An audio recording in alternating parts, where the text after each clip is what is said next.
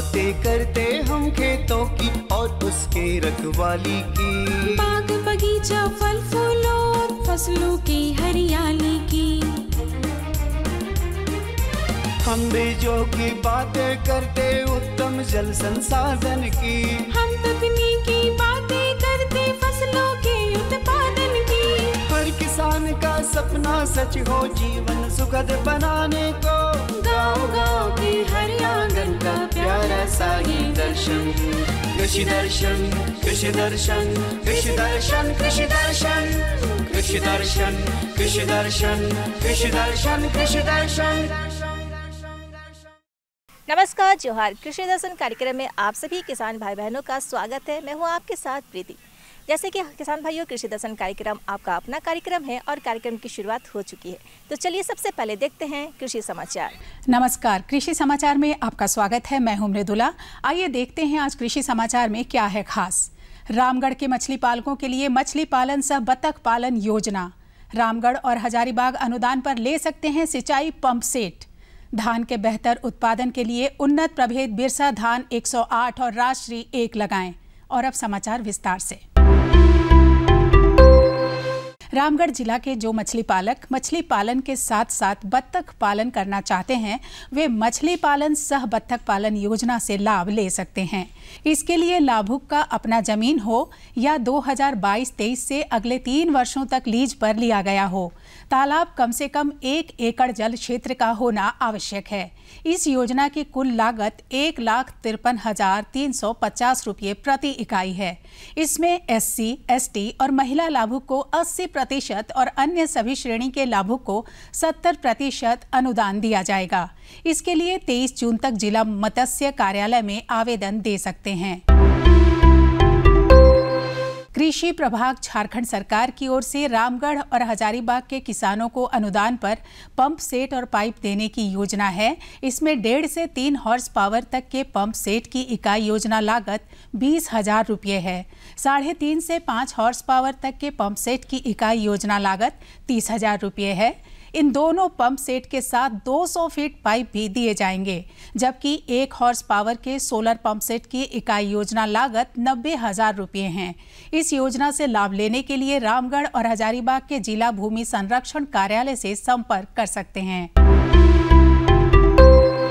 मछली पालक भाइयों, आप यदि मछली पालन से ज़्यादा लाभ लेना चाहते हैं तो पारंपरिक विधि से मछली पालन करने के बजाय आधुनिक और वैज्ञानिक विधि से मछली पालन करें।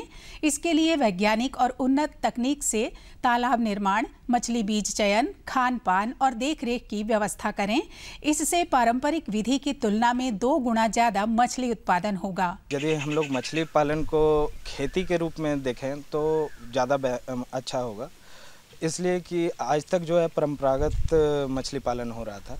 और यदि हम लोग कमर्शियल बेसिस पे यदि इसको ले लेके जाते हैं तो ज़्यादा ज़्यादा फार्मर को बेनिफिशियल होगा।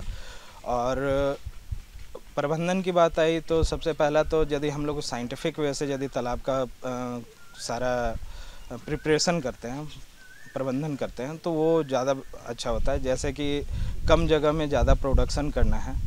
जैसे एक एकड़ में अप्रोक्स एक एकड़ में अभी तक जो खेती होती थी, वो परंपरागत खेती में आपका तीन से तीन से पाँच quintal max to max production हो पाता था।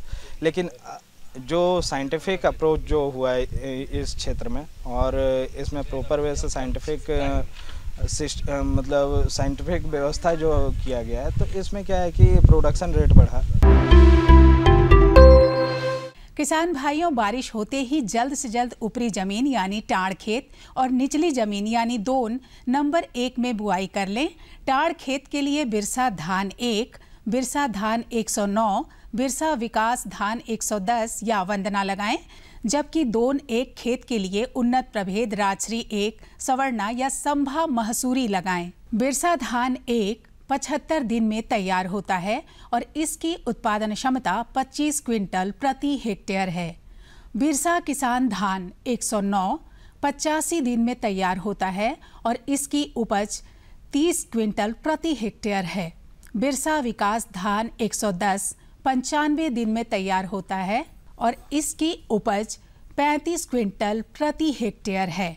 वंदना 90 दिन में तैयार होता है और इसकी उत्पादन क्षमता 30 क्विंटल प्रति हेक्टेयर है, जबकि राजश्री एक 40 दिन में तैयार होता है और इसकी उपज 50 क्विंटल प्रति हेक्टेयर है। स्वर्णा और संभा महसूरी 145 दिन में तैयार होता है और इसकी उत्पादन क्षमता 60 और 55 क्विंटल प्रति हेक्टेयर है।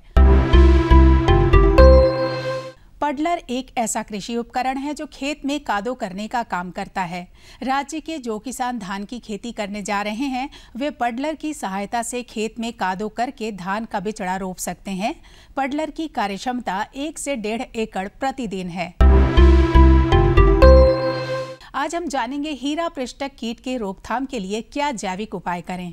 गोभी वर्गीय फ़सलों में अन्य शत्रु कीटों सहित हीरा पृष्ठक कीट के नियंत्रण के लिए ट्राइकोडर्मा का उपयोग करें। इसके लिए 50 से पचहत्तर हज़ार अंडा परजीवी ट्राइकोडर्मा प्रति हेक्टेयर की दर से खेत में डालें। एक एक सप्ताह के अंतराल पर तीन से चार बार ये उपचार करें।